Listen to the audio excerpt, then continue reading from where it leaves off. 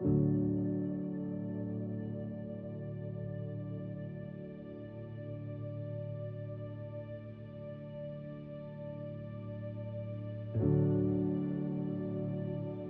the site formerly consisted of a number of residential and commercial lots, as you'll see in the screen, including the Morwell Squash Club, and then it was consolidated into one lot as part of the GovHub development.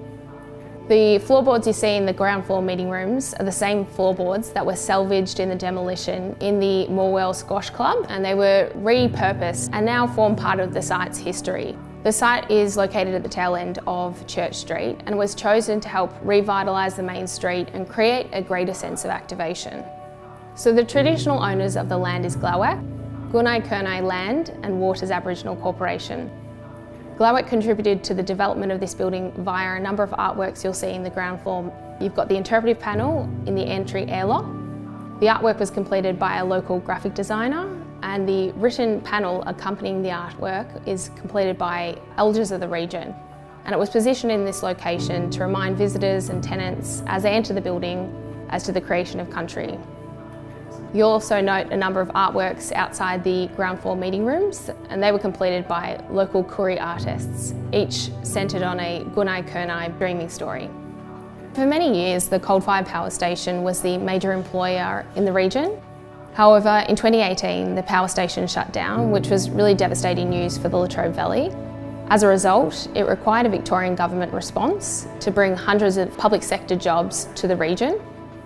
In 2018, the Premier announced the appointment of Castlerock Property to deliver the Latrobe Valley GovHub as part of a $266 million transition package to encourage decentralisation of roles and services from Melbourne and boost local jobs.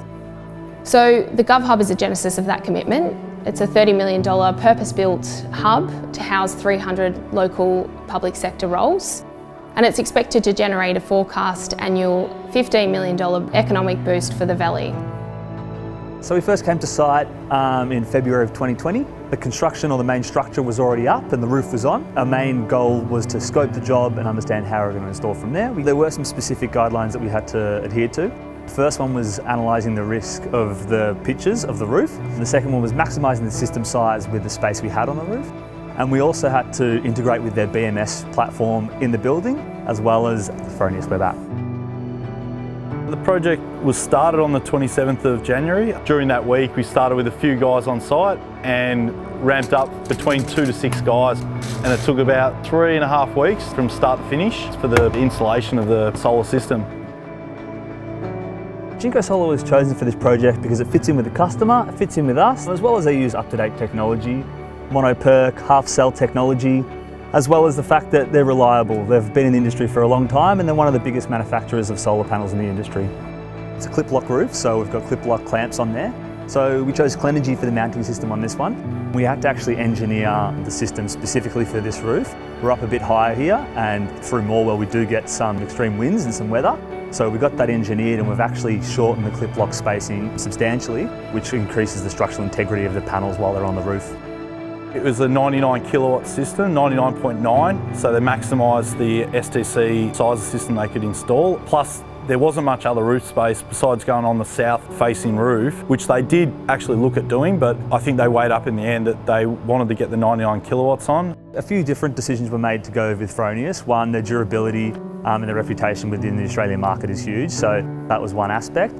Um, similarly, we were able to mix and match various sized inverters with a eco inverter, which is a string inverter, as well as the Symos, which are a little bit smaller, but they have multiple strings on them as well. So just a myriad of design requirements, as well as their integration into portals. That was a big thing for the customer. They'd used Fronius before, so they understood it, and we have also used them as well. Castlerock, they're familiar with the solar industry and solar components. It was great to join their team and help them through the process. We did have to educate them on the specifics of this site and how all the different components would interact with each other.